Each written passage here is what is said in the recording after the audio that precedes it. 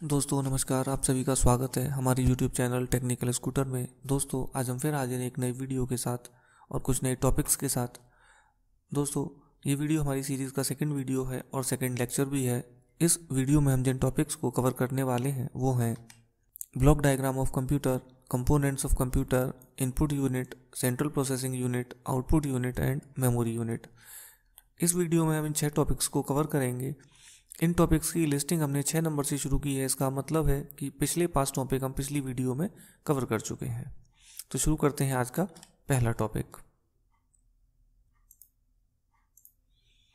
block diagram of computer it is the pictorial और graphical representation of computer which defines the complete functionality of computer at once computer का block diagram, उसका pictorial या graphical representation है, जो उसकी complete functionality को एक बार में एक्सप्लेन करता है, या जिसकी हेल्प से कंप्यूटर की कंप्लीट फंक्शनैलिटी को एक बार में समझा जा सकता है। जैसे, उसमें कितनी यूनिट्स हैं, या कितने कंपोनेंट्स हैं, या कितने मॉड्यूल्स हैं, उनकी क्या क्या फंक्शनैलिटी है, उनका आपस में क्या रिलेशन है, उनमें फ्लो ऑफ़ डेटा क्या है, इन सभी बातों को हम ब्लॉक डायग्राम की हेल्प से आसानी से समझ सकते हैं। ये ब्लॉक डायग्राम कंप्यूटर का ब्लॉक डायग्राम है, जिसमें सबसे पहले इनपुट यूनिट है, जो कंप्यूटर के अंदर डेटा इनपुट करने के लिए यूज़ होता है। ये सीपीयू है, जो सेंट्रल प्रोसेसिंग यूनिट है। इनपुट डेटा को प्रोसेस करने के लिए यूज़ होता है। ये आउटपुट यूनिट है, जो कि प्रोसेस्ड डेटा को यूज़र अंडरस्टैंडेबल फॉर्मेट में कन्वर्ट करके यूज़र को डिलीवर करता है। ये मेमोरी यूनिट है, जो कि डेटा को टेम्परेरी या परमानेंट बेसिस पर स्टोर करके रखने के लिए यूज़ होता है। इन एरो की हेल्प से हम समझ सकते हैं कि डेटा इनपुट यूनिट से सीपीयू की तरफ़ फ्लो करता है।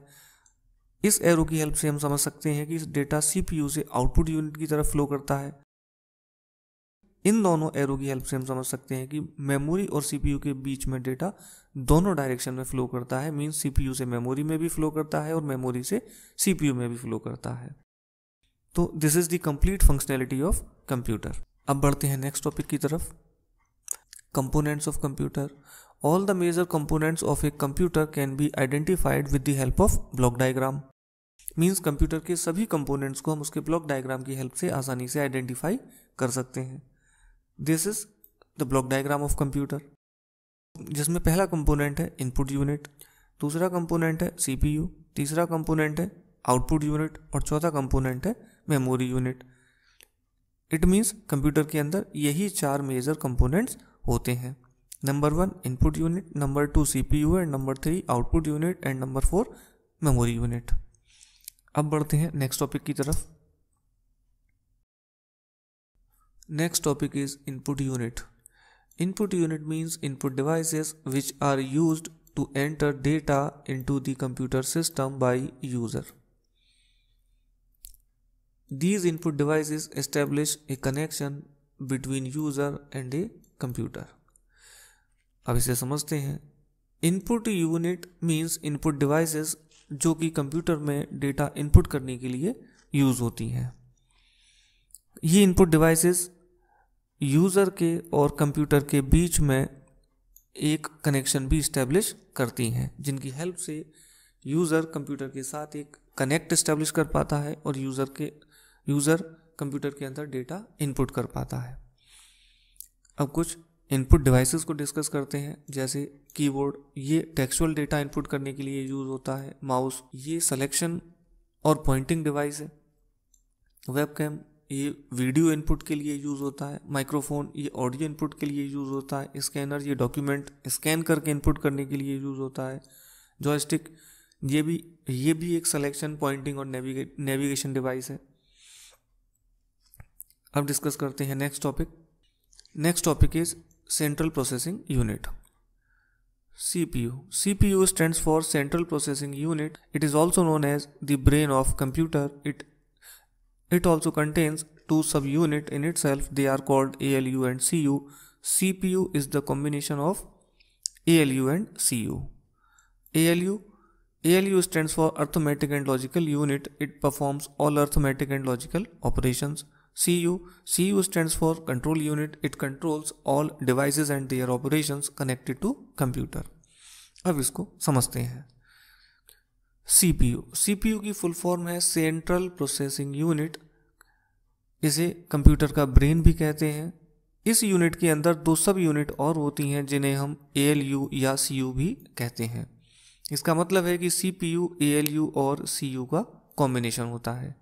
अब इस यू और सी यू को डिस्कस करते हैं। A L U means arithmetic and logical unit जो कि सभी अर्थमेटिक एंड लॉजिकल ऑपरेशंस को परफॉर्म करती है। C U C U means control unit जो कि कंप्यूटर से कनेक्टेड सभी डिवाइसेस को और उनके ऑपरेशंस को कंट्रोल करती है। तो ए एल यू सभी अर्थमेटिक और लॉजिकल ऑपरेशंस परफॉर्म करती है। सी यू कंप्यूटर से कनेक्टेड सभी डिवाइसेस को और उनके ऑपरेशन को परफॉर्म करती है और ये दोनों यूनिट एक दूसरे के साथ मिलकर काम करती हैं और यही दोनों यूनिट सीपीयू का फॉर्मेशन करती हैं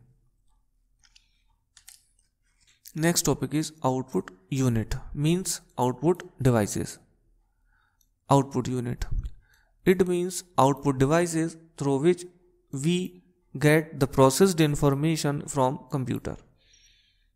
This unit establishes a connect between the computer and the end user. Output devices translate the computer's output into the user understandable form.